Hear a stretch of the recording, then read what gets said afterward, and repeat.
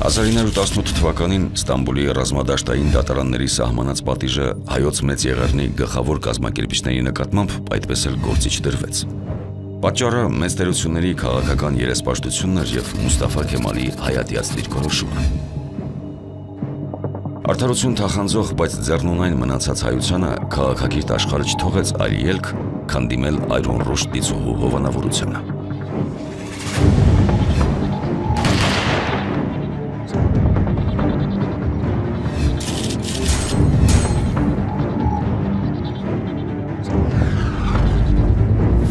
«1919 թվականի աշնանը Երևանում ընթացող դաշնակցության 9-րդ համաժողովին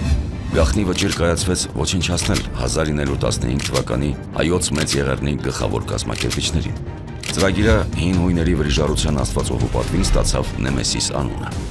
Նեմեսիս ծրագրով ոչնչացման ենթակա համար 1 տեխնացու ընտրվեց Թալիատ Փաշա։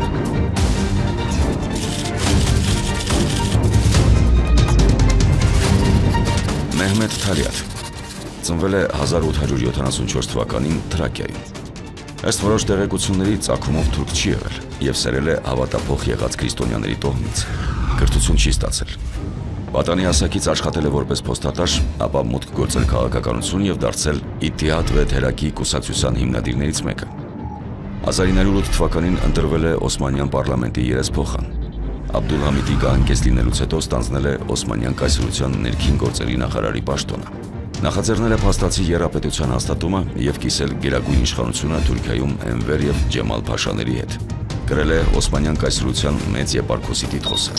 Ամենաերանդուն մասնակցությունն է ունեցել հայոց մեծ եղեռնի կազմակերպման եւ իրականացման գործում, ինչը երբեք չի թաքցրել։ Հենց նրան է պատկանել փաստագրված հրահանգը, որ տրվել է թուրքական պետության կուսակալներին ավելի ջանադրաբար իրագործել հայերին կոտորելու ծրագիրը։ Ոչ ոքի չխնայել, ինչև իսկ օրորոցի երեխաներին։ Մեհմեդ Հալյաթին ահաբեկելու օպերացիան հանձնարարվեց Երզնկացի հայ երիտասարդ Սողոմոն Թեհլերյանին։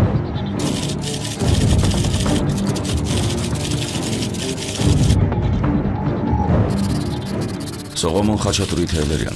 ծնվել է 1896 թվականին Բագարեջ գյուղում Երզնկայի մոտ։ Սերել է հայ քրիստոնյա բողոքականների տոհմից։ Նախնական կրթությունը ստացել է Երզնկայում, ապա ուսումը շարունակելու նպատակով մեկնել է Եվրոպա։ Առաջին աշխարհամարտի ժամանակ վերադարձել է հայրենիք եւ կամավորագրվել Անդրանիկ Օզանյանի գնդին։ Հայոց մեծ եղեռնի օրերին կորցրել է գրեթե ողջ ընտանիքն ու տոհմը, ներառյալ մորը, եղբայրներին եւ քույրերին։ Նախքան Թալյաթի մահապատիժն իրագործելը ստանձնել է հայ մատնիչ Ստամբուլի Բեշիկթաշ թաղամասի ոստիկանության աշխատակից Արություն Մկրչյանի ոչնչացման օպերացիա, որը եւ հաջողությամբ իրագործել է 1919 թվականի մարտին։ Թելերյանը Թալյաթին գնդակահարելու հրահանգը ստացավ Նեմեսիս ծրագրի գլխավոր ղեկավար Արմեն Գարոից 1920 թվականի աշտանը Միացյալ Նահանգների Բոստոն քաղաքում։ Ինչ այդ Նեմեսիսի վրիժառուները Մեհմեդ Թալյաթին որոնում էին Բերլինում, Համբուրգում եւ Ժնևում, ինչը որ Հրաչ Փափազյանի ծավալած հետախուզական գործունեության շնորհիվ հաստատապես ողջվեց, որ Թուրքիայի նախկին մեծ եპարքոսը ծվարել էր Գերմանիայի մայրաքաղաքում։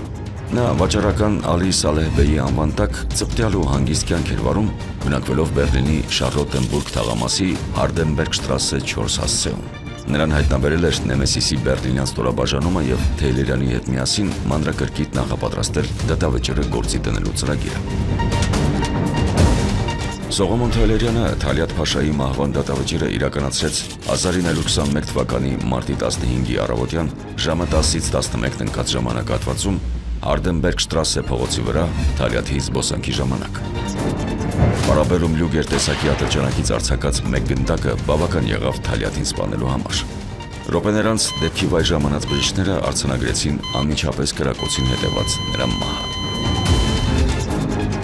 Թելերյանը դեպքի վայրից չհեռացավ, այլ կանխավ համաձայնեցված ծրագրով հանձնվեց Բերլինյան ոստիկանությանը, որպեսզի Թալյաթի ահաբեկությունը եւ դրա արդյունքում կազմակերպված դատավարությունը լայն հնչողություն ստանան եվրոպական հասարակությունում եւ լուսաբանվեն համաշխարհային մամուլում։ Սողոմոն Թելերյանի դատավարությունը մեկնարկեց Բերլինում 1921 թվականի հունիսի 20-ին, սակայն ըստ էության այն վերածվեց Մեհմեդ Թալյաթի գործած ոչրագործությունները բացահայտող դատաքննության, որի արդյունքում 12 երթյալ ատենականները հայ վրիժառուին ճանաչեցին անպարտ եւ պատվիրեցին ազատ արձակել հենց դատարանի դահլիճից։ Նեմեսիս Աստվածուհու վրիժարության ուխտը այդպիսով հեղեց հայոց մեծ եղերնի հատուցման առաջին արյունը։